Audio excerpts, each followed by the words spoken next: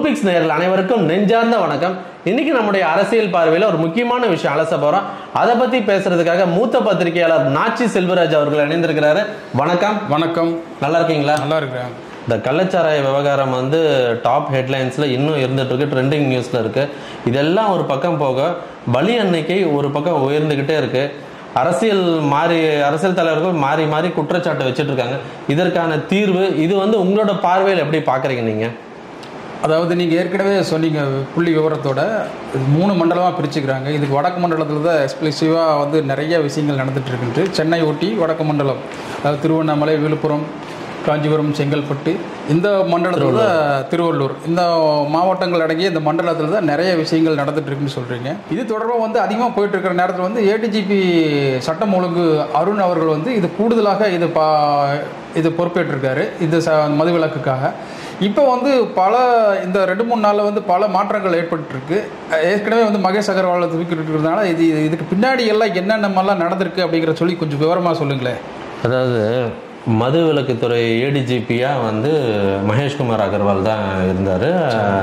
அவர் வந்து ஏற்கனவே சிட்டி கமிஷனராக இருந்தார். அவருடைய செயல்பாடுகள் அதாவது அவர் வந்து நீக்கம் குறித்து பல முக்கியமான ஐபிஎஸ் அதிகாரிகள் வட்டத்திலையும் போலீஸ் அதிகாரி வட்டத்திலையும் விசாரிக்கும் போது இது வந்து கஷ்டமான நேரம். இது வந்து அவரை எடுத்திருக்க கூடாது. அவருக்கு கீழே இருக்கிற செந்தில்குமாரை முக்கியமாக அந்த எஸ்பி உளவுத்துறையில் இருக்கிற ஷியாம்லா தேவி அவங்களாம் தப்பிச்சிட்டாங்க. செந்தில்குமாரை நீக்கிட்டாங்க. அவங்கள நீக்கி இருக்கணும். ம் ம் ம். இவரை நீக்கினது வந்து ஒரு வழிகடை ஆக்கின மாதிரி வழிகடை ஆக்கின மாதிரி இருக்கு. அப்படின்னு சொல்றாங்க. அப்புறம் இன்னும் இன்டெப்தா இது பண்ணும்போது இவர் வந்து தீவிரம் காட்டியிருக்கிறாரு. இவர் கஞ்சா வழக்கு போடுறதுலயும் மற்ற விஷயத்திலயும் கான்சன்ட்ரேட் பண்ணி மற்ற விஷயத்த கொட்ட விட்டுருக்காங்க. அதை விட இன்னொரு விஷயம் கடந்த முறை வந்து பாத்தீங்கன்னா நம்ம லாஸ்ட் இயர் வந்து மரக்காணத்துல இதே சம்பவம் பதினஞ்சு பேர் இறந்தாங்க. ஓகே செங்கல்பட்டுல ஏழு பேர். ஸோ ஆக மொத்தம் இருபத்தி ரெண்டு பேர் இறந்தாங்க. ஸோ இந்த சம்பவம் வந்து தமிழ்நாட்டில் வந்து இந்த கள்ளச்சாராய மரணம் வந்து பெரும் அதிர்வலைகளை ஏற்படுத்துச்சு. ஸோ அந்த நேரத்தில் என்ன பண்ணாருன்னா சிஎம் ஸ்டாலின் வந்து நேரடியாக போயிட்டாரு. ஸ்பாட்டுக்கு போகிறாரு ஸ்பாட்டுக்கே போயிட்டாரு. இப்போ மகேஷ்குமார் அகர்வால் என்ன பண்றாருன்னா அவரோட இன்டெலிஜென்ஸை யூஸ் பண்ணி சார் நான் ஏற்கனவே அதாவது சிஎம் கிட்ட செங்கல்பட்டு எஸ்பி கிட்டயும் விழுப்புரம் எஸ்பி கிட்டயும் நான் ஆல்ரெடி வந்து இது விஷயமா சொல்லியிருக்கேன். விளக்கம் விளக்கம் இல்லை. நான் இந்த மாதிரி நடக்க போகுது இந்த மாதிரி விஷயம் நடந்துகிட்டு இருக்கு. கவனிங்கன்னு சொல்லி பல மெமோஸை கொடுத்ததாகவும் அதற்கு வந்து செங்கல்பட்டு எஸ்பி பிரதீப் செவி சாய்க்கலன்னும் அப்புறம் ஸ்ரீ- ஸ்ரீநாத் விழுப்புரம் எஸ்பி செவி சாய்க்கலன்னு ஒரு பிட்டை ஸ்ட்ராங்கா போட்டிருக்காரு. ஓ எஸ் முதல்வர் முதல்வர்கிட்ட அப்போ வந்து நம்ம சைலேந்திர பாபு டிஜிபி என்ன சொல்லியிருக்கிறாருன்னா இல்ல சார் அவங்க வந்து பட்டிங் ஆபீசரு அவங்க நல்லா ஒர்க் பண்ணுவாங்க. அவங்களுக்கு கீழே இருக்காங்க அப்படிலாம் கிடையாது. ஒரு ஏடிஜிபி சொல்றாரு. யூ டேக் ஆக்ஷன் அப்படின்னு சொல்லிட்டு ஒரே ஸ்ட்ரிக்டா அடிச்சு தள்ளிட்டு போயிட்டாரு. முதல்வர் சொல்றாரு. முதல்வரே சொல்லிட்டாரு. ஏன்னா ஒரு ஏடிஜிபி சொல்றாரு. மகேஷ் குமார் அகர்வால் சொல்றாரு அவர் ஒரு சீனியர் ஆபீசர் வந்திருக்கிறவங்க ரெண்டு பேருமே பட்டிங் ஆபீசர் அவங்களுக்கு வந்து நடந்தது என்னன்னு நம்ம யோசிச்சு பாக்குறதுல அவங்க மேல தவறு இருக்கு இல்லைன்னு சொல்ல. ஆனா ஒட்டுமொத்தமா அவங்க மேல பழிய போட்டு இவர் எஸ்கேப் அதை முதல்வர் தெரிஞ்சிட்டாரு. மொ- முதல்ல தெரிஞ்சுக்கல. அத வந்து அப்ப நடந்த விஷயத்த அதுல என்ன பண்ணிட்டாருன்னா இது நடந்ததுக்கு அப்புறம் இந்த விஷயம் இப்ப நடந்தது பாருங்க. இது நடந்தவொடனே இது கிளீனா போட்டு விட்டாங்க. இதுல வந்து இவர் இதுக்கு அதுக்கு அப்புறம் வந்து அந்த இடத்துக்கு சசாங் சாய் வந்திருக்கிறாரு. அவர் வந்து அந்த இடத்துல ரைடு எல்லாம் அடிச்சு விழுப்புரத்துல அடிச்சு குண்டா சாய் இது வந்து எந்த ஆபீசர் போயிட்டு மறு ஆபீசர் வந்தாலும் அந்த மாதிரி வந்து கிளீனா பண்ணுவாங்களாம். இப்ப வருண்குமார் இன்னைக்கு பண்ணிருக்கிறாருல அந்த கலெக்டரோட சேர்ந்துக்கிட்டு அது கரெக்டான படம். நியூஸ் தெரியாதவங்க கூட எடுத்து திட்டிட்டு போனதுக்கு அப்புறம் நல்ல நியூஸ் அடிச்சு கொடுக்குற மாதிரி எவனோ அடிச்சு கொடுக்குறத எடுத்து போடுவான். அந்த டைம்ல ஸ்கோர் பண்றது. ட்ரெண்டிங் ரீல்ஸ் மாதிரி அது. திருச்சியில வருண்குமார் கொஞ்சம் நல்லா கிளியரா பண்ணிடுறாரு. கிளியரா பண்ணிட்டாரு. இப்ப பாருங்க நேத்து வந்து ஒரு எஸ்பியோட போய் எஸ்பி அவரும் போயிருக்கிறாரு கலெக்டரும் photography பைக்ல வச்சு பக்காவா போய் இவங்க போறதுல இருந்து எடுத்து ஊத்துற வரைக்கும் நியூஸ் போட்டிருக்காங்க. பட் அது ஒரு நல்ல விஷயம் தான் அது ஒரு பாராட்டப்பட வேண்டிய விஷயம் தான் பட் இது மாதிரி தொடர்ச்சியா வேலை செய்யணும். தொடர்ச்சியா வேலை செய்யணும். இதுக்கப்புறம் பாத்தீங்கன்னா இது இவர் ஏடிஜிபி சொன்ன இது அதாவது இவங்க ஐபிஎஸ் அதிகாரிகளுக்குள்ளே பேசிக்கிறது ஸோ ஏடிஜிபி வந்து டைரெக்டாக அவங்கள குறை சொல்கிறாரு எஸ்பின்ட்டு எஸ்பிகளுக்கு என்னென்ன பணிச்சுமை இருக்குது அவங்களுக்கு வந்து லாண்ட் ஆர்டர் சட்ட ஒழுங்காக பார்க்கணும். இன்னொன்று கிரைம் ரேட்டை பார்க்கணும். இன்னொன்று இங்கே இருக்கிற மாதிரி அடிஷ்னல் தனித்தனியாக பிரிச்சுலாம் இருக்காது. எஸ்பியில் ஒருத்தர் தான் இருப்பார். இன்னொன்று டிராஃபிக்கு அதுக்கும் மேலே விஐபி விசிட் ஸோ பிரதமர் வரலாம். யார் வந்தாலும் அமைச்சர் நம்ம தமிழக அமைச்சர் யார் வந்தாலும் இந்த வேலையெல்லாம் கீழே பார்க்கறதுக்குன்னு அவர் ஸ்பெஷல் பிரான்ச்சு எஸ்பி இன்ஸ்பெக்டர்னு வச்சிருப்பாரு. அந்த இன்ஸ்பெக்டர் கீழே ஒரு எஸ்ஐ இருப்பாங்க. அவங்களுக்கு கீழே ஒரு ஹெட் கான்ஸ்டபிள் இருப்பாங்க. இவங்களோட ரிப்போர்ட்டிங் லட்சணம் தான் இப்போ கடந்த ரெண்டு வருஷமா வந்து டோட்டலா டேமேஜ் பண்ணியிருக்கு. இவங்க ஒழுங்கா கொடுக்காதனால தான் இவங்க இவ்வளவு ஒழுங்கா கொடுக்காதனால. இதுல வந்து இதுல இன்டெலிஜென்ஸ்ல இருக்கிற ஷாம்லா தேவியும் சரியா கவனிக்கல. அவங்க இதுல இருந்து தப்பிச்சிட்டாங்கன்னு டைரக்டாவே குற்றச்சாட்டு சொல்றாங்க ஆபீசர்ஸ் அவர் ஷியாமலா தேவி. நம்ம விசாரணையில வரும்போது. ஓஹோ. நம்ம விசாரணை மீன்ஸ் நம்மளோட அறிவுபூர்வமான இதுதான் நம்ம. விசாரிக்கும் போது அவங்க வந்து கை காட்டுறாங்க. கண்டிப்பா கண்டிப்பா. அவங்கள கை காட்டுறாங்க. அதுக்கப்புறம் அதே மாதிரி இவங்க வந்து இன்னொரு விஷயம் கஞ்சாவை பிடிக்கிறதுல இவங்க கவனம் செலுத்திட்டு கள்ளச்சாராயத்தை கோட்டை விட்டாங்க. அது ஒண்ணு. அதுக்கு மேல எஸ்பி ஒவ்வொரு டிஸ்ட்ரிக்ட்லயும் மூணு யூனிட் இருப்பாங்களாம் பிடபிள்யூ மதுவிலக்கு பிரிவு. அதுக்கு வந்து ஹெட்டட் பை டிஎஸ்பி டிஎஸ்பி கண்ட்ரோல்ல இருக்குமா? இது எல்லாத்துக்கும் மேல இப்போ வந்து இப்போ இது பண்ணாங்கல்ல இவரை சமய் சிங் மீனா ஐபிஎஸ் இப்ப சஸ்பெண்ட் பண்ணாங்கல்ல? இவர் யாருன்னு இவரை பத்தி விசாரிக்கும் போது இவரை பத்தின தகவலும் சீனியர் ஆபீசர் சொல்றாங்க? அதாவது என்னன்னா எக்ஸ்பீரியன்ஸ் இல்லாத ஆபீசர்ஸ் வந்து சில குரூஷியலான மாவட்டத்துல போடும்போது இந்த மாதிரி பிரச்சனைகளை அவங்களுக்கு சமாளிக்க தெரியாது. அப்ப தெரிஞ்சுட்டு போடுறாங்களோ? இல்ல அது இல்ல. ஒரு ஆபீசர்ஸ் வந்து கள வேலை செய்யறாங்க வேலை செய்யும் போது இந்த மாதிரி ரிசல்ட் வந்து யாரும் எதிர்பார்க்க முடியாதுல்ல. இன்னொன்னு இதே இந்த சமய சிங் மீனா ஐபிஎஸ் வந்து கமாண்டன்ட்ல இருந்திருக்கிறாரு. ஓ. ஏஎஸ்பி இருந்து SP IPS rank IPS rank officer இவர் வந்து எஸ்பிஐ கமாண்டட்ல இருந்து அதுக்கப்புறம் வந்து டிராஃபிக் டிசியில் ஈஸ்ட்ல இருந்திருக்கிறாரு. ஓஹோ. அங்க ஒரு சின்னதா ஒரு சம்பவம் பண்ணியிருக்கிறாரு. ஈஸ்ட்லியா ஈஸ்ட்ல இருக்கும்போது ஏற்கனவே வந்து நம்ம டிராஃபிக்னு எடுத்துக்கிட்டிங்கன்னா கிட்டத்தட்ட வந்து எல்லாரும் வந்து டிராஃபிக் கான்ஸ்டபிள் காசு வாங்குறாங்க.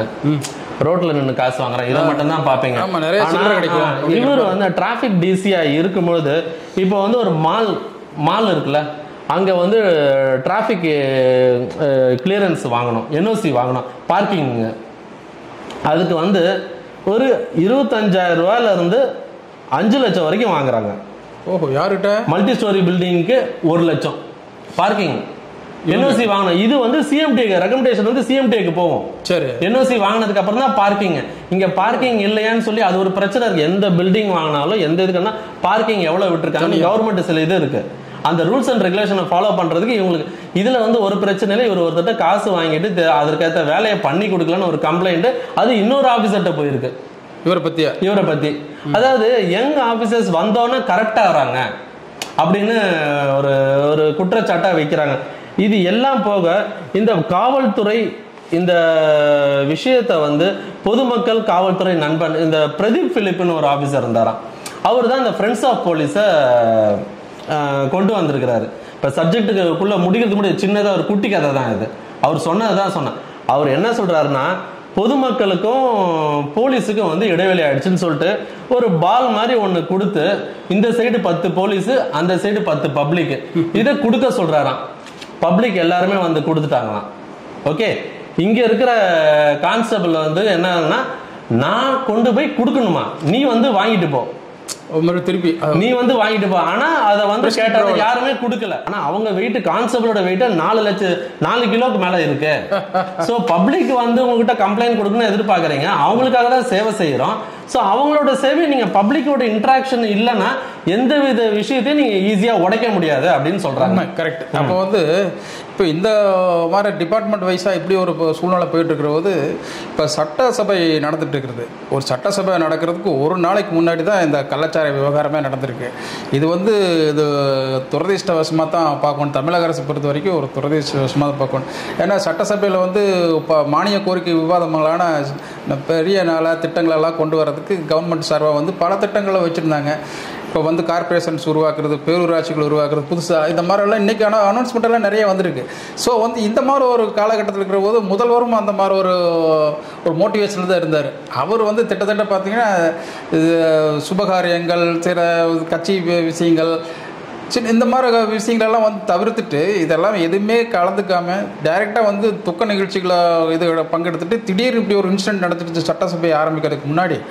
அதனால் வந்து அவரை தன்னை மாற்றிக்கிட்டு பல விஷயங்களை இப்போ இது பண்ணுறது இப்போ வந்து செத்து போனவர்களுக்கு ஒரு பத்து லட்சம் கொடுக்கறதுங்கிறது வந்து அதே ஒரு சில கேலி கிண்டல் பண்ணுறாங்க கொடுத்தாலும் பிரச்சனை கொடுக்காட்டியும் பிரச்சனை அப்படிங்கிற மாதிரி ஒரு சூழ்நிலை போயிட்டு இருக்கு அது குறிப்பா சீமான் சீமான் அவர்கள் வைத்த அந்த பேச்சு வந்து இப்போ ட்ரெண்டிங்ல ரீல்ஸ்ல போகுது குடிக்காரங்க குடிச்சிட்டு செத்து போயிருக்காங்க. அவங்களுக்கு பத்து லட்ச ரூபா கொடுக்கணுமா? ஆமா அவன் தியாகியா அவன் என்ன நாட்டுக்கு தெரிஞ்சுட்டு பார்டரில் போய் போ போராடிட்டு வந்துக்கிறானா? அவனை போய் போய் கள்ளச்சாரம் கொடுத்து படுத்துட்டான் இருக்கிறான் அப்படின்னு சொல்லிட்டு அதுக்காக மீம்ஸ் எல்லாம் கூட பறக்குது. அதாவது அதாவது அதான் வாயில லெமன் வச்சுட்டு ஓடுறதுக்கும் வெறும் ஸ்பூனை வச்சுட்டு ஓடுறதுக்கு நிறைய வித்தியாசம் இருக்குது லெமன் வச்சுட்டு ஓடுறவங்க தான் ஜெயிக்க முடியும். வெறும் ஸ்பூனாக வச்சுட்டு ஓடுறவன் ஓட்ட முடியாது அப்படிங்கிறத இவங்க வந்து பொறுப்புள்ள அமைப்பா ப- பதவியில் இருந்துட்டு இருக்கிறாங்க இவங்க பொறுப்பாக தான் பொதுமக்களுக்கு பதில் சொல்லி ஆகணும். அதனால் கொடுத்து தான் ஆகணும். கொடுக்காட்டியும் பிரச்சனை. இப்போ கம்யூனிஸ்டுக்காரர் அதே வந்து என்னங்கிறாரு இந்திய கம்யூனிஸ்ட் மார்க்சிஸ்ட் வந்து இருபத்தஞ்சு லட்சம் கொடுத்துருக்கணும். ஏன் பத்து லட்சம் கொடுத்தீங்க? அப்படின்னு கேள்வி கேட்குறாரு. ஸோ வந்து இப்படி எல்லாம் அதாவது கொடுத்தாலும் பிரச்சனை கொடுக்காட்டியும் பிரச்சனை. ஏன் அதிகமாக கொடுக்குறீங்க? அப்படி வந்து பிரேமநாத விஜயகாந்த் அவங்க கூட சொல்லியிருந்தாங்க கொடுக்க கொடுத்துருக்கக்கூடாது அப்படின்னு சொல்லிட்டு.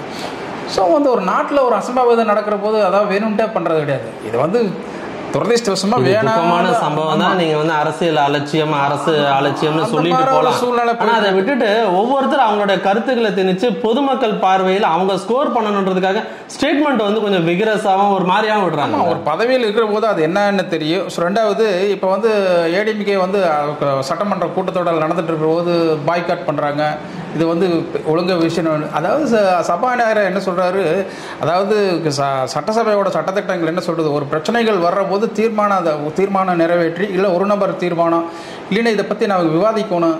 ஒற்றை தீர்மானம் வெட்டு தீர்மானம் இதெல்லாம் நிறைய விஷயங்கள் இப்படி இருக்குது இந்த மாதிரி பேசினா தான் வந்து கரெக்டாக கொண்டு வர முடியும். சபாநாயகர்கிட்ட போய் முறைப்படி இதெல்லாம் கேட்காம வெளி நின்று கத்தி இப்படியெல்லாம் கூட்பாடு போட்டு இப்படியெல்லாம் பண்ணுறாங்க அப்படின்ட்டு சொல்லிட்டு சபாநாயகர் தரப்பில் குற்றச்சாட்டு. அதே சமயத்தில் பார்த்தீங்கன்னா சென்ற ஆட்சியிலையும் இப்போ நீங்கள் சொல்கிறீங்களே இப்போ வந்து இதே மாதிரி தான் ஸ்டாலின் எதிர்க்கட்சி தலைவராக இருக்கிற போது முதல்வராக இவர் இருந்தார் எடப்பாடி பழனிசாமி. அப்போ கூட பெரிய பிரச்சனையாச்சு. அப்படிங்கிற போது சட்டக்கிளிஸ்ட்டு கூட ஒரு தடவை வந்தார். அப்போ கூட ஒரு ஆஃபீஸர்ஸு அப்போ ஒரு ஆஃபீஸர் அவர் பேர் என்ன? சுதாகர் நினைக்கிறேன். இப்போ அடிஷனல் கமிஷனர் டிராபிக்கா இருக்காரு. அவரை பத்தியும் ஒரு நியூஸ் நீங்க இப்ப புக்ல வந்திருக்கு.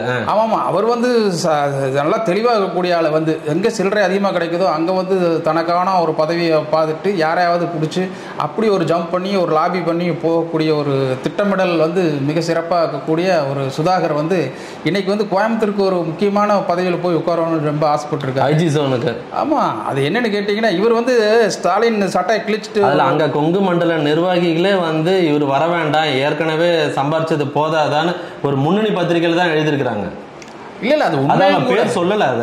அது உண்மையும் கூட. பத்திரிக்கையில் எழுதுறாங்கன்னா சும்மா. நீங்க அந்த ஏரியா கோயம்புத்தூர். இல்ல இல்ல அது மட்டும் இல்ல. அதாவது இவர் வந்து நடிக்கிறதுல நடிக்கிறதுல ஆபீசரா இருந்துட்டு கூட இப்போ ஸ்டாலின் வந்து அதே சட்டசபையில வந்து சட்டையை கிழிச்சு ஒரு பெரிய சம்பவம் ஒன்று நடந்துச்சு. அப்போ அப்போ கூட வந்து மிமிஸ் எல்லாம் போட்டு ஸ்டாலின் மேல வந்து பல குற்ற இது காமெடி எல்லாம் பண்ணாங்க. ஆனா அதுக்கு வந்து இவர் வந்து யூனிஃபார்ம் காட்டி வச்சுட்டு அந்த சட்டசபை சட்டசபை யூனிஃபார்மை போட்டுட்டு போய் உள்ள வச்சு இவர் தான் தூக்கிட்டு போய் அதெல்லாம் போட்டோ வந்து ஒரு ஆபீசர் வந்து அவருடைய யூனிஃபார்ம் ஐபிஎஸ் ஆபீசரை யூனிஃபார்ம் மாத்திட்டு அந்த சட்டசபை ட்ரெஸ்ஸை போட்டுக்கிட்டு உள்ள போய் தூக்கிட்டு வந்து சட்டை கிழிச்சது. அந்த போட்டோவை போட்டு அதுக்கப்புறம் இவர் ஆட்சிக்கு வந்ததுக்கு அப்புறம் இவரோட கதை கந்தலாயிடும் அப்படின்னு எல்லாருமே அவர் கூட வேலை செஞ்சவங்களே சொன்னாங்க. ஆனா இவர் வந்து எலெக்ஷன் ரிசல்ட் இப்படி போதுன்னு பக்காவா காய் நகர்த்தி அங்க பேசி இங்க பேசி கரெக்டா அந்த இடத்துல ஐஜில போய் உக்காந்துட்டாரு. அதுதான் அது சுதாகர் நிறைய பேர் குற்றச்சாட்டம் வச்சாங்க அது. அதுதான் சுதாகர்? ஐபிஎஸ் கேட்டீங்கன்னா எவ்வளவு தெளிவா அதாவது ஆளுங்கட்சி ஏடிஎம்கே இருந்தாலும் சரி இல்ல டிஎம்கே இருந்தாலும் சரி அவர் பீரியட்ல தான் கொடநாடு கேஸ் இருந்தது. ஆ ஆமா அதுல கூட அவர் கான்ட்ரவைஸ் ஆச்சு. உங்களுக்கு தெரிஞ்ச தெரிஞ்ச விஷயம் தான் இதெல்லாம் ஸோ வந்து சுதாகர் ஒரு ஆபீசர் எப்படி இருக்கிறாரு பாருங்க. அதாவது எந்த கட்சி வந்தாலும் தன்னை வந்து நிலைநிறுத்தி கொண்டுங்கிற மாதிரி கொண்டு போயிட்டு இருக்காரு இப்ப அடிஷனல் டிராபிக்கா இருக்கிறாரு. இப்போ பெசன் நகர்ல வந்து ஒரு எம்பி பொண்ணு ஆந்திரா எம்பி பொண்ணு வந்து ஒரு காரை ஏத்தி கொன்னுடுச்சு. அதுக்கு பேரம் பேசிக்கிட்டு இருக்கிறாங்களாம் அது ஒரு பெரிய கான்ட்ரவர்ஷியல் நியூஸா போயிட்டு இருக்கு ஓ இவர் இந்த அளவுக்குலாம் அதாவது எப்படி எல்லாம் அதாவது இவர் இருக்கிற கீழே கரெக்டா அடிச்சு வேலை செஞ்சாதானே வேலை செய்வாங்க. ஸோ வந்து அரசாங்கம் வந்து இவருக்கு உரிய பதவியெல்லாம் கொடுத்தாங்கன்னா இதெல்லாம் வந்து என்னன்னு சொல்றது? இவரால் ஒரு நோட்டபிள் ஆபீசராக தான் பார்க்கணும் அப்படிங்கிறது தான் எங்களோட ஒரு பத்திரிகையாளர் அவர்களோட இல்ல பார்வையில் அதே மாதிரி நல்ல சின்சியர் ஹார்ட் ஒர்க்கர் ஆபீசர்ஸ் யாரையும் பிடிக்காம யாரோடைய பேக்ரவுண்ட் இல்லாம இன்னும் அமைதியா உட்காந்துருக்காங்க ம் இந்த வேலை கொடுத்தா அந்த இடத்தையே முடிச்சு விட்டுற அளவுக்கு ரெடியா இருக்காங்க. ஆனா இன்னைக்கு யாரை பிடிச்சி யார் பேக்ரவுண்டு இவங்க இவங்க பேக்ரவுண்டு நாங்க இந்த பேக்ரவுண்டுன்னு வச்சுக்கிட்டு காயின் நகர்த்தி அந்த சீட்டை பிடிச்சிட்டு உட்காந்துறாங்க அந்த சீட்டுக்கு இவ்வளவு செலவு பண்றாங்க. அந்த சீட்டுக்கு செலவு பண்ற பேக்கப்பை நம்ம எடுக்கணும்னு நினைக்கிறாங்க. ரிட்டர்ன்ஸா தான் பாக்குறாங்க. அதான் ஒரு சீட்டுக்கு வந்து பதினஞ்சு லட்சம் இருபது லட்சம் இருபத்தஞ்சு சீட் லட்சம்னு சொல்லிட்டு அந்த சீட் உட்கார போதே கொடுத்துட்டு வர்றாங்க. அப்புறம் என்ன செய்வாங்க? அவங்க வந்த உடனே கல்லா கட்டத்த ஆரம்பிப்பாங்க. ஸோ வந்து இந்த மாதிரி ஒரு ஆசை ஆஃபீஸர் எல்லாம் போயிட்டு இருக்கு வைங்க இப்போ பழனிசாமி என்ன எதிர்கட்சி தலைவர் ஏடி இபிஎஸ் பழனிசாமி என்ன சொல்றாரு? அதாவது இப்போ நூற்றம்பது பேர் மேற்பட்டவர்கள் வந்து இப்போ உள் நோயாளிகளாக வந்து ட்ரீட்மெண்ட் எடுத்துட்டு இருக்காங்க அந்த கலாச்சார விவகாரத்தில். அவங்களுக்கு வந்து உரிய விஷ முறிவு அம், மருந்துகள் எல்லாம் ஸ்டாக் இல்லைன்னு சொல்லி சொல்லிக்கிறாரு. அவரோட குற்றச்சாட்டு. அதுக்கு வந்து கிட்டத்தட்ட சுகாதாரத்துறை அமைச்சர் மா. சுப்பிரமணியம் கூட அதுக்கு பதில் சொல்லிக்கிறாரு. இல்லை இல்லை அதுக்கு பதில் சொன்னது கூட திருப்பி இவர் கேட்டிருக்காரு. இல்லை நீங்கள் சொல்கிற மருந்து வந்து அதை வந்து என்ன சொல்கிறது அதை வந்து அல்சர் கொடுக்குற மருந்து விசமுறிவு மருந்து இல்லைன்னு சொல்லிட்டு சொல்லிக்கிறார். இப்போ வந்து அடுத்த சுகாதாரத்துறை டீன் லெவலில் வந்து இல்லை அந்த மருந்துக்கு உண்டான ஸ்டாக்கெல்லாம் வச்சுருக்குறோம். ஏற்கனவே வந்து உரிய பா பரிசோதனை எல்லாம் பண்ணி அவங்களுக்கு உண்டான மருத்துவ ரீதியாகவும் பார்த்துட்ருக்கோன்னு சொல்லிட்டு அரசு தரப்பில் சொல்லிட்டு இருக்காங்க. ஆனால் இபிஎஸ் தொடர்ந்து இது போராட்டம் நடத்திட்டு இருக்கிறாங்க. அதாவது அஹ், நீங்க சொன்ன மாதிரி நரேந்திர மோடி அவர்கள் பிரதமரா கடந்த முறை இருக்கும்போது ஆல் இந்தியா டிஜிபி மீட்டிங் நடந்துதான். இது ரொம்ப குறிப்பா சொல்லணும். ஏன்னா மோடி அவர்கள் பேசிய பேச்சு வந்து இது இப்போ ஒரு அதிகாரி குறிப்பிட்டாரு. அதாவது வந்து ஒரு ஒரு அவர் எந்த ஸ்டேட் டிஜிபின்னு தெரியல. அது பேர் சொல்ல விரும்பல அவர். ஒரு ஸ்டேட் டிஜிபி எழுந்து சொன்னாரா இப்பெல்லாம் டெக்னாலஜி ரொம்ப வளர்ந்துட்டு வளர்ந்துச்சு. நமக்கு வந்து சேலஞ்சிங்கா இருக்கு அப்படின்னா எல்லா பேசுறதையும் கேட்டாரு. அந்த முதல்ல பேசினவரை கூப்பிட்டு கூப்பிடலையா? அவரை பார்த்துட்டு அப்படி கண்ணில் அப்படி அசைச்சிட்டு பேச ஆரம்பிச்சாராம் நீங்க டியூட்டியில ஜாயின் பண்ணும்போது என்ன டெக்னாலஜி இருந்தது? நீங்க என்ன படிச்சீங்க? இந்த அளவுக்கு டெக்னாலஜி இருந்ததா? இன்னைக்கு எல்லாமே கை கடக்கமா எல்லாமே கண்டுபிடிக்கிற அளவுக்கு டெக்னாலஜி வளர்ந்துச்சு. நீங்க என்ன வேலை செய்யறீங்கன்னு என்ன கேட்டாங்க அவுட்புட்டு என்ன வேலை செய்றீங்க அவரே கேட்டாராம். நீங்க இது இந்த பப்ளிக்கோட தான் வருது. நீங்க பப்ளிக்கோட வேலை செஞ்சீங்களா? நீங்க கார்ல அறுபது கிலோமீட்டர் ஸ்பீட்ல லைட்டை போட்டு போறீங்க. ஓகே இங்க வந்து ஒரு பெட்ரோல் பண்றீங்களா? பெட்ரோல் பண்ணுங்க. வாக் பெட்ரோல் நடந்து போய் போலீஸை பாருங்க. அப்புறம் என்ன சொல்ல சைக்கிள்ல போங்க. சைக்கிள்ல போறது பிரஸ்டிஜ் இஷ்யூ கிடையாது. டூ வீலர்ல போங்க. பப்ளிக்கோட பேசுங்க. பப்ளிக்கோட இன்டராக்ட் பண்ணுங்க. பப்ளிக் யார் வந்தாலும் நீங்க அதற்கான விஷயங்களை வந்து முன்னெடுத்து செல்லணும். இதை வந்து சென்னையில கொஞ்ச நாளைக்கு முன்னாடி முன்னெடுத்தாங்க. எப்படின்னா ஒரு மூணு மணி ஆயிடுச்சுன்னா போதும். ஏசி வந்து "அஹ், வாயா போயிட்டு வந்துடலாம் அப்படின்னு வரான். என்னன்னா மார்க்கெட்டுக்கு மார்க்கெட்டுக்கு போயிட்டு அப்படி போய் பார்த்துட்டு இப்படி பேசுற மாதிரி அப்படி சைக்கிள் ஓட்டுற மாதிரி ஒரு நாலு போட்டோ போட்டாங்க. அண்ணாமலை. அண்ணாமலை சௌக்கியமா. நல்லா இருக்கிறியா அண்ணாமலை? அந்த மாதிரி கேரக்டரா அந்த மாதிரி கதை இல்ல அந்த மாதிரி அதாவது இப்போ வந்து ஏன் நம்ம செய்தித்துறையிலேயே சொல்றோமே நம்ம வந்து வாட்ஸ்அப் நியூஸ் தான் இருக்கு. ஒரு டைம்ல வந்து நியூஸ் வருது இது இந்த எங்கப்பா நடந்ததுன்னு கேட்டா தெரியல வாட்ஸ்அப்ல வருது. இருபது சவரன்றது அப்படியே மாறி மாறி அறுபது எழுபது நூறு சவரன் தெப்ட்ன்ற மாதிரி சொல்றாங்க. ஒரு கலை ரெண்டு கலை ஆயிடும். இல்ல நடந்தது நடக்காது இது மாதிரி சொல்றாங்க. அப்பெல்லாம் ஸ்டேஷனுக்கு ஃபோன் பண்ணி கேட்கணும் இப்ப இதெல்லாம் என்னன்னா போலீஸ் வந்து இன்னும் வந்து ஸ்ட்ராங்கா ஒர்க் பண்ணணுன்றது தான் பொதுமக்களோட கோரிக்கையா இருக்கு. இப்போ கள்ளச்சாரியத்துல இருந்து அடுத்த டாபிக் போறோம். சசிகலா.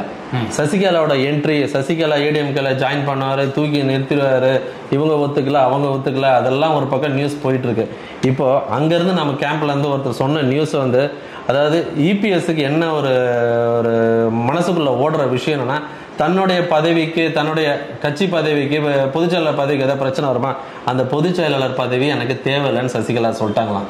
நீங்களே இருந்துங்க. ஆனா கட்சி வந்து இப்படி இப்படி டெபாசிட் இழக்கிற அளவுக்கு இந்த அளவுக்குலாம் போகக்கூடாது. கண்டிப்பா சேர்ந்தாதான் இதாகணும். இதுல வந்து நம்ம ம- மௌன விரதம்லாம் இருந்தாரு.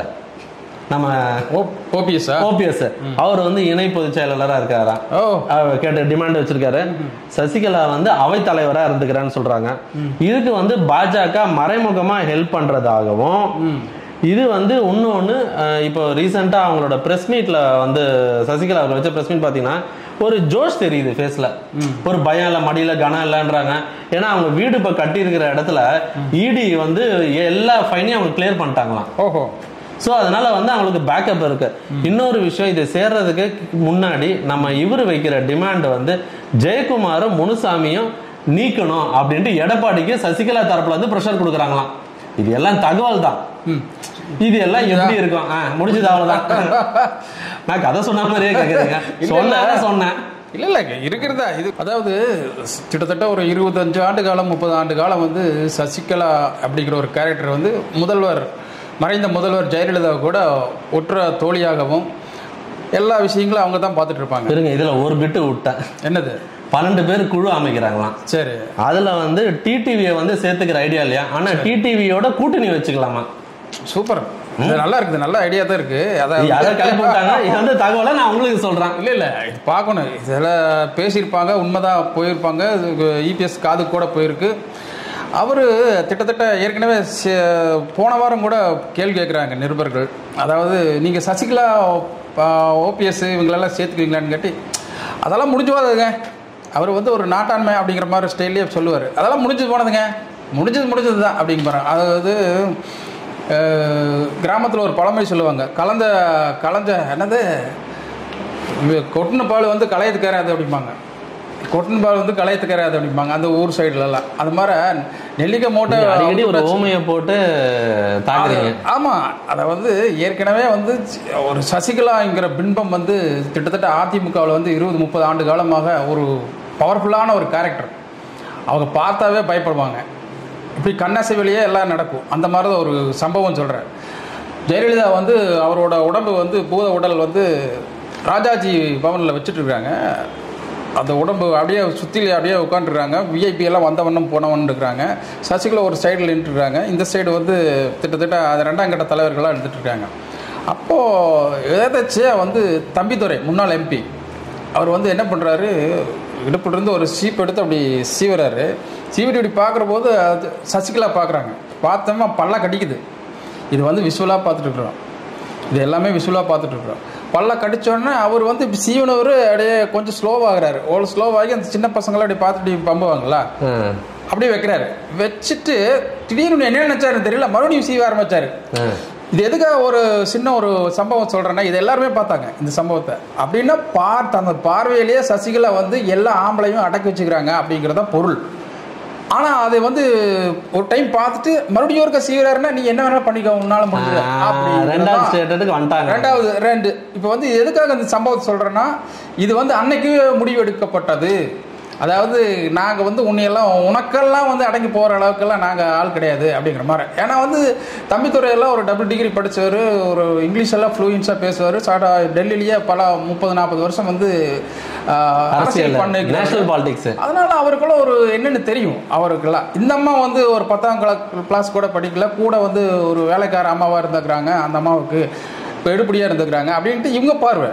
ஸோ வந்து நல்லா அது புரிஞ்சுக்கொண்டம்மா அப்படி இருந்தவங்க வந்து இது பரமசிவன் கழுத்து பாம்பு தான் பரமசிவன் கழுத்தில் அந்த பாம்பு வந்து இருக்கிற வரைக்கும் தான் அது வந்து பயம். எல்லாத்துக்குமே அப்படியே பார்க்கவும் பண்ணோம். கழுத்தில் இருக்கிற வரைக்கும் தான் கழுத்துலேருந்து இறங்கி போயாச்சுன்னா எவன் மேலே அடிப்பான் அப்படிங்கிறது இப்போ ஒரு சூழ்நிலை. இப்போ வந்து நாலு வருஷமா அப்படித்தான் இருந்துட்டு சூழ்நிலை. இன்னைக்கு வந்து இதுக்கு behind of the screen BJP Delhi ஒரு உத்தரவு போட்டுருக்காங்க நீங்கள் என்ன வேணாலும் பண்ணுங்கன்ட்டு அங்கே கிளறி விடுறான். கிளறி விடுற போது இப்போ சசி வந்து என்னங்கிறாங்க? அவங்களுக்கு சப்போர்ட்டாக வெளியே வர்றாங்க. இதில் வந்து ஒரு ச- இப்போது அவங்களோட குடும்ப ஸ்ட்ரக்சர் சொன்னோம்னா சசிகலா நடராஜன் அப்படிங்கிறவரு பிஆர்ஓ உங்களுக்கு எல்லாமே தெரிஞ்சு வச்சு சாதாரண பிஆர்ஓ இருந்தவர். இந்த அம்மா வந்து ஒரு கேசட் கடை நடத்திட்டு இருந்தவங்க இன்றைக்கி அதே போயஸ் கார்டனில் பல கோடி ரூபா செலவு பண்ணி ஜெய ஜெயலலிதா வாழ்ந்த இடத்துலையே ஏதோ ஆப்போசிட்டில் வந்து கட்டி நீ பெரிய வீடாக வர்றீன்னா தொண்டர் ஒத்துக்குவாங்களா? தொண்டரில் ஏற்றுக்குவாங்களா நீ அம்மாவோட நீ என்ன அம்மாவோட ஈக்குவலா நீ? அப்படின்னு பார்ப்பாங்க. ஒன்று ரெண்டாவது அந்த அம்மா இறந்ததுக்கப்புறம் அடுத்த ஒரு ரெண்டு மூணு நாள்லேயே அதே அதே வாகனத்தில் அதே லைட் போட்டு டிரைவர் பக்கத்தில் அதே மாதிரி ஒரு கொண்டை போட்டு ட்ரெஸ் பண்ணிட்டு வந்தால் இதை ஏற்றுக்குவாங்களா ரெண்டாவது பாயிண்ட் சரி நீங்கள் வந்து ஜெயலலிதா இடத்துல வந்து உங்களை வச்சு யாரும் பார்க்கல. முதல் தொண்டம் பார்க்கல. ரெண்டாவது பொதுமக்களும் பார்க்கல. அப்படிங்கிறத வந்து புரிஞ்சுட்டா. இது வந்து யார் தெரிஞ்சுட்டாங்க? ரெண்டாவது வந்து அப்புறம் இருந்த கவர்னரும் சரி கவர்மெண்ட்டும் சரி. அப்போ வந்து இதுக்கு முழுக்க முழுக்க வந்து ஒரு காரண காரியமாக இருந்தவர் வந்து அன்னைக்கு இருந்த துணை குடியரசுத் தலைவர் வந்து வெங்கைய நாயுடு. அவர் தான் அதை உற்று நோக்கினார். ரெண்டாவது அருண் ஜேட்லி. அன்னைக்கு வந்து நிதியமைச்சராக இருந்தவர். இவங்க தான் ரெண்டு பேர் தான் அதுக்கு முக்கியமாக பார்த்துட்டு இருந்தாங்க. ஜெயலலிதா ஆரம்ப காலத்தில் இந்த கேஸ் இப்போ நீங்கள் சொன்னீங்களே கொடைக்கானல் கேஸ்லேருந்து மற்ற கேஸ்லேருந்து ப்ளசன்ட் ஸ்டே மற்றபடி எல்லா கேஸுகளையும் வந்து அருண் ஜேட்லி தான் பார்த்துட்டு இருந்தார். ஸோ வந்து இவங்களோட ஒவ்வொரு மூமெண்ட்டும் அவங்களுக்கு தெரியும். ரெண்டாவது இவங்களுக்கு ஆப்போசிட்டாக இருந்தாலும் சரி மற்ற கூட இருந்தாலும் சரி எல்லா ரகசியங்களும் அறிஞ்சவர் சுப்பிரமணிய சுவாமி. இவங்களாம் இந்த லாபி பண்ணாங்க. இவங்கெல்லாம் லாபி பண்ணி தான் இன்னைக்கு வந்து சசிகலா வந்து கிட்டத்தட்ட ஒரு அவங்க அன்கோ குரூப்பு இப்போ சசிகலா நடராஜன் பிஆர்ஓ பிஆர்ஓ இருந்தவர் கடலூர் மாவட்டத்தில் ஒரு சாதாரண அரசு அதிகாரியாக இருந்தவர். இன்னைக்கு பல்லாயிரம் கோடி சமைச்சிட்டாங்க. இவர் சாம்ராஜ்யமே அமைச்சிட்டாங்க. அப்படிங்கிறதா. அவங்க வந்து அண்ணன் வந்து ஆஹ், கிட்டத்தட்ட அவங்க தம்பி திவாகரன் ஒரு தனிக்கட்சியை ஆரம்பித்தார் தனி ஆரம்பித்து திராவிட கொள்கையோட நான் ஒன்றி போய்க்கிறேன் அப்படின்னு சொல்லிட்டு சசிகலா எதிர்த்து அவங்க சிறையில் இருக்கிறவோ தனி கட்சி ஆரம்பித்தார் அவங்க வந்து ஜெயலலிதா வந்து ஒரு மட்டமாக நடத்தினாரு. ஒரு ஜெயலலிதாவோட அவங்க உயிரோடு இருக்கிற போது அவங்க கூட இவங்களோட மோதல் ஏற்பட்டுச்சு. திவாகரனுக்கும் அந்த அம்மாவுக்கும் அப்படிங்கிறது வரலாறுகள் உண்டு.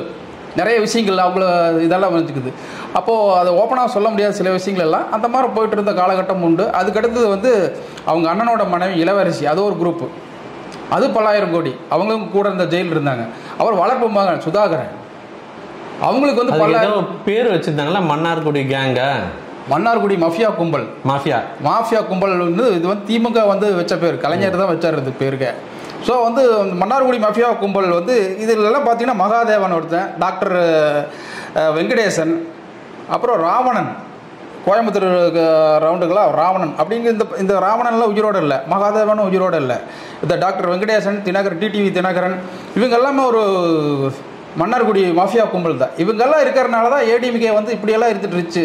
இவங்களும் ஒரு சாம்ராஜ்யம் நடத்துனாங்க. கிட்டத்தட்ட நாற்பதாயிரம் நாற்பதாயிரம் கோடி ஐம்பதாயிரம் கோடி எல்லாம் ஊழல் பண்ணி சம்பாதிச்சாங்க எட்நூறு இடத்துல வந்து ஐடி அதான் இன்கம் டேக்ஸ் ரைடு போனாங்க இடி ரைடு போனாங்க. இவங்க மொத்த ஃபைல் எடுத்துகிட்டு போயிட்டாங்க சென்ட்ரல் கவர்மெண்ட்டு அப்படிங்கிறது தான் உண்மை. ரெண்டாவது வந்து இவர் எடப்பாடி பழனிசாமி சில ஆவணங்கள் வச்சுக்கிறாங்க. இப்போ வந்து கிட்டத்தட்ட இப்போது என்ன சொல்கிறதுக்கு ஊட்டியில் கொடநாடு எஸ்டேட்ல எஸ்டேட்டில் பல ஆவணங்கள் வந்து முக்கிய ஆவணங்கள் எல்லாம் சிக்கியிருக்கு.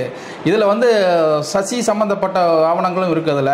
அதில் வந்து ஓப்பனிங் செல்வம் ஆவணங்களும் இருக்குது அதில் இருந்தா கொடநாடு கேஸே வந்து ஒரு இங்கிலீஷ் படம் கிரைம் நாவலை விட பயங்கரமா இருக்கும். ஆமாம் ஆமாம் அதில் கனகராஜ் போட்டது. ஃபாலோ பண்ணவனும் செத்தான் அதை எடுத்தவனும் செத்தான் கேஸும் முன்னேற்றமும் இல்ல. அது பல அதே வந்து எடப்பாடி பழனிசாமி இதை பற்றி விசாரிக்கவே கூடாதுன்னு சொல்லிட்டு ஸ்டே ஆர்டர் கூட வாங்கினாரு. ஸோ வந்து இதெல்லாம் இப்படி போகிற கட்டத்தில் நம்ம போகிற ரூட் வேற மாதிரி போயிட்டு இருக்கு. சார் சசிகலா கும்பல் வந்து இந்த மாதிரி ஒரு சாம்ராஜ்யம் நடத்திட்டு இருக்கு. இவங்க ரீஎன்ட்ரி ஆனால் அதிமுக என்ன ஆகும்? அப்படிங்கிறது ஒன்று ரெண்டாவது இவங்க ரீஎன்ட்ரி ஆனதுனால அதிமுகவுக்கு ஏதாவது லாபமா? அதிமுகவுக்கு கூடுதல் வாக்கு கிடைக்குமா? அப்படிங்கிறது ஒரு திட்டத்திட்ட இப்போ பத்து எம்பி பத்து எலெக்ஷன் தோத்தாங்கிறாங்கல்ல தென் மாவட்டங்களை பொறுத்த வரைக்கும் பத்து எம்பி தோ பத்து டைம் தோத்ததில் இன்னும் அவங்க வாக்கு வங்கி குறையவே இல்லை. வாக்கு வங்கி குறைஞ்சிருந்தா ஒரு செல்லூர் ராஜ் எப்படி ஜெயிச்சிருக்க முடியும்? உதயகுமார் எப்படி ஜெயிச்சிருக்க முடியும்? ஓஎஸ் மணியன் எப்படி ஜெயிச்சிருக்க முடியும்? இப்படியெல்லாம் அது வந்து இதெல்லாம் கேள்வி. சட்ட இதெல்லாம் ஆசி அலசி ஆராய்ஞ்சு பார்த்து இதெல்லாம் விஷயங்கள் தெரியும். ஸோ வந்து இவங்க வர்றனால நமக்கு ஏதும் இல்லை அப்படிங்கிறது வந்து இபிஎஸோட ஸ்டேட்மெண்ட்டு இவங்களை வந்து சேர்த்துக்கூடாதுங்கிறது இபிஎஸோட ஸ்டேட்மெண்ட்டு இவங்களை சேர்த்தா நம்ம மறுபடியும் வந்து இந்த கட்சி சின்ன பின்னம் ஆகும் அப்படிங்கிற ஒரு ஸ்டேட்மெண்ட்டு ஸோ வந்து நீங்கள் சொல்கிறபடி பார்த்தா ஆனா நீங்க சொன்ன மாதிரி இன்னொரு விஷயம் சசிகலா அவர்கள் எனக்கு அவைத்தலைவர் போதும்னு சொல்லிட்டு உள்ள வந்ததுக்கு அப்புறம். அப்புறம் அவங்க லெவல் அவங்க படம் காட்ட ஆரம்பிச்சாங்கன்னா இது நல்லா அது எப்படி இருந்தாலும் அவங்க தூக்குவாங்கல்ல. உள்ள வந்தானே எல்லா பலமும் இருக்கு. இப்ப கிளீன் சிட்டா இருக்கிறாங்க. அதுக்கப்புறம் அவங்களோட பண பலம் ஏற்கனவே பல பேரை ஸ்கெட்ச் போட்டு தூக்கிட்டதா அவங்க கேம்ப்ல தூக்கிட்டதா ஒரு தகவல் இருக்கு. இப்போ நீங்க சொல்றபடியே பார்த்தா அவைத்தலைவர் சசிகலா பொதுச் செயலாளர் எடப்பாடி பழனிசாமி இணை பொதுச் செயலாளர் ஓபி ஓ பன்னீர்செல்வம் இப்படியெல்லாம் இருந்துச்சுன்னா அவங்க ஜெயிச்சிருவாங்களாமா ஜெயிச்சிட முடியுமாம்மா? ஐம்பது நாற்பது பர்சன்ட் வாங்கி ஜெயிச்சிருவாங்களாமா இவ ச சசிகலாக்கு தனியாக ஒரு ஓட்டு வங்கி இருக்காமா சசிகலா சேர்ந்த உடனே ஐடிஎம்கே மேலே வந்துருமாமா? எந்த காரணம் இது? யார் வீட்டு இது? எந்த எந்த விதத்தில் நியாயம் இது? எந்த ஊர் நியாயம் இது? எப்படி இது வளரும்? இது யாரை ஒத்துக்குவாங்களா? ஒன்றரை கோடி தொண்டர்கள் ஜெயக்குமார் வந்து கட்சியிலேருந்து நீக்கணும். முனுசாமி வந்து கட்சியில இருந்து நீக்கணும். இவங்க அப்போ தான் இவங்க வருவாங்களாமா? இதில் எந்த ஊர் நியாயம் இது? அப்படி வரவே தேவையில்ல. அதே தான் அப்புறம் எடப்பாடி எப்படி கட்சி நடத்துவார்? அதாவது சில உள்குத்து வேலை அரசியலாக நடந்திருக்கு. அப்போ வந்து வேலுமணி வந்து அமைச்சராக இருக்கிற போது கிட்டத்தட்ட த- டெல்டா மாவட்டங்களில் வந்து வைத்திலிங்கத்தை தோகடிக்கணும்னு வேலை செஞ்சார். வைத்திலிங்கம் வந்து அன்னைக்கே வந்து இவங்க கூட சேர்ந்து இதெல்லாம் வந்து இது பண்ணார். ஸோ வந்து இப்போ அப்போவே ஒரு அரசியல் உள்குத்து அரசியலெல்லாம் இருந்திருக்கு. இல்லைன்னு சொல்ல வரல. இந்த இந்த அரசியலும் இருக்குது அந்த அரசியலும் இருக்குது. ஸோ இவங்க வந்தால் மட்டும் ஜாதி அரசியல் இல்லை. சசிகலா சொன்னால் மட்டும் சாதி அரசியலா? இதெல்லாம் நம்ம பொதுமக்கள் பார்வையில் தான் பார்த்துட்டு இருப்பாங்க. ஏடிஎம்கேங்கிற வந்து எம்ஜிஆரால் ஆரம்பிக்கப்பட்டது. அப்போவே வந்து மத மதமோ சாதியோ அதிமுக என்றைக்கும் பார்க்காது அப்படின்னு சொல்லி தான் அந்த கட்சியை வளர்த்தினாலும் ஜெயலலிதா மதே தான். தன்னை வந்து எதிர்க்கட்சிகள் வந்து ஒரு என்ன சொல்கிறது ஒரு உந்துகோலாக இருந்துட்டு இருக்கும்போது ஆமாம் நான் பாப்பாத்தி தான் அப்படின்னு சொல்லிட்டு ஒரு கட்டத்தில் பேசினாங்க. சட்டசபையில் கூட ச நான் பாப்பாத்தி தான் அப்படின்னு சொல்லி பேசினாங்க. ஆனால் அதே பாப்பாத்திங்கிற ஒரு கேரக்டர் வந்து காஞ்சி மடத்தில் வந்து அவர் காஞ்சி காஞ்சி மகானை வந்து கைது பண்ணலையா? இது வந்து யாருமே செய்ய முடியாது. யோசிக்கவே இல்ல. அது. யாருமே யோசிக்கவே இல்ல. அதுதான் அதிமுக. அதுதான் அதிமுக. அதுதான் ஜெயலலிதா அவர்கள். அதுதான் ஜெயலலிதா. அதுதான் ஜெயலலிதா. இரும்பு அதை யாருமே அவங்க லெவல் யாரையும் தொட முடியாது. தூக்கினா தூக்கிடுவாங்க அவ்வளவுதான். இதே வந்து அப்போ வந்து என்ன சொன்னாங்க? அரசியல் பார்வையாளர்கள் கூட சொன்னாங்க. கலைஞர் இருந்தா கூட இதை பண்ணியிருக்க முடியாதுன்னாங்க. இப்போ ஆனா இல்ல கலைஞரே பண்ணியிருக்காரு. ஜெயலலிதா அம்மையார் இருந்தா என்ன பண்ணிருப்பாங்க சிட் எப்படி? எந்த இது? இப்ப இந்த கள்ளச்சாராயம் சம்பவத்துல அவங்க பார்வையில என்ன என்ன நடந்திருக்கும்? இன்னொரு இரும்புக்காரங்க கொண்டு அடக்கி எல்லாரும் யார் யார் இருக்கிறாங்களோ அவங்க எல்லாத்தையும் உள்ள போட்டு இருப்பாங்க. அமைச்சரையும் சேர்த்து தூக்கி இருப்பாங்க ஆமா அமைச்சர் டிஸ்மஸ் அந்த எம்எல்ஏ டிஸ்மஸ் எல்லாத்தையும் கட்சியிலேருந்து போட்டு எல்லாத்தையும் உள்ளுக்குள்ள தூக்கி போட்டிருப்பாங்க. எனக்கு அந்த ஆளுல வேண்டாம்னு சொல்லியிருப்பாங்க. ஒரு இரும்புக்கு இவரால எனக்கு ஓட்டு வரும். இவர் அந்த சமூகத்தை சேர்ந்தவர். அதெல்லாம் யோசிக்கவே மாட்டாங்க. எந்த சாதியா இருந்தாலும் எந்த சமூகம் இருந்தாலும் உள்ள டிஸ்மஸ் பண்ணு. போட்டு அடி. இடைநீக்கு பண்ணு. அப்படிதான் சொல்லியிருப்பாங்க. ஒரு கான்ட்ரவர்சி இல்லாமல் கடவாடான்னு போயிருக்கு. ஆனால் இன்னைக்கு அப்படி இல்லை.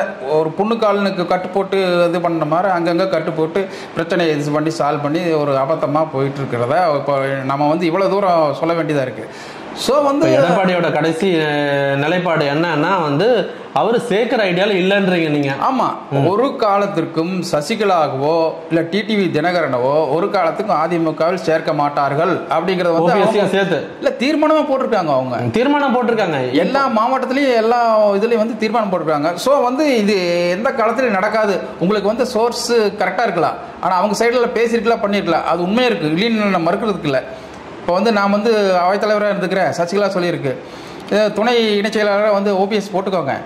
அவர் டி டிவி தினகரன் வந்து கட்சிக்குள்ள வேண்டாம். ஆனா அவன் வந்து அம்மா மக்கள் முன்னேற்ற கழகம் இருந்துகிட்டு கூட்டணி. அவர் கூட கூட்டணி வச்சுக்கலாம் அப்படின்ட்டு இதெல்லாம் பேசியிருக்கலாமா? பேசி பேசியிருக்கலாம் மேபி இதெல்லாம் உண்மையாக கூட இருந்திருக்கலாம். ஆனால் இது ஒருபோதும் எடப்பாடி பழனிசாமி ஏற்றுக்கொள்ள மாட்டார் அப்படிங்கிறத நம்ம ஒரு பத்திரிகையாளரை பார்க்கக்கூடிய ஒரு பார்வையில் நம்ம சொல்ல வேண்டியதாக அழகான ஆழமான கருத்துக்களை பதிவு செய்தமைக்கு ரொம்ப நன்றி. நிறைவு செய்யறதுக்கு முன்னாடி ஒரு விஷயம் சொல்லிடணும். அதாவது ப்ளூ பிக்ஸ் வந்து நியூட்ரலா பண்றீங்க. எந்த சார்பும் இல்லாம எல்லாருடைய நியூஸையும் நியூட்ரலா போடுறீங்கன்னு ஒரு ஃபீட்பேக் கிடைக்குது. பாராட்டுதல்கள் வந்து எல்லா தரப்புல இருந்தும் அதாவது கீழ் லெவல்ல இருந்து மேல் மட்டம் வரைக்கும் வருது. அது ரொம்ப சந்தோஷமா இருக்கு நிறைவு தருகிறது. அதே நேரத்தில் நீங்க ஷேர் பண்ணுங்க சப்ஸ்கிரைப் பண்ண மறந்துடாதீங்க. இது போன்ற ஒரு இன்று இல்லை எப்பொழுதுமே வந்து ஒரு நியூட்ரலான செய்திகளை கொடுக்கணுன்றது எங்களுடைய முதல் பணியாக இருக்கும். நீங்கள் உங்களோட அழகான அழகான கருத்துக்களை அடிக்கடி வந்து எங்களுக்கு உங்கள் டைம் ஒதுக்கி ப்ளூ பிக்ஸுக்கு சொல்லிட்டு போங்க. அதே மாதிரி நாச்சி செல்வராஜ் அவர்களும் தொடர்ச்சியாக நம்ம ப்ளூ பிக்ஸுக்கு சப்போர்ட் பண்ணி அவரோட கருத்துக்களை பதிவு செய்வார் நம்ம எதிர்பார்க்கலாம். மீண்டும் ஒரு காணொளியில் உங்களை சந்திக்கிறேன். நன்றி வணக்கம். வணக்கம்.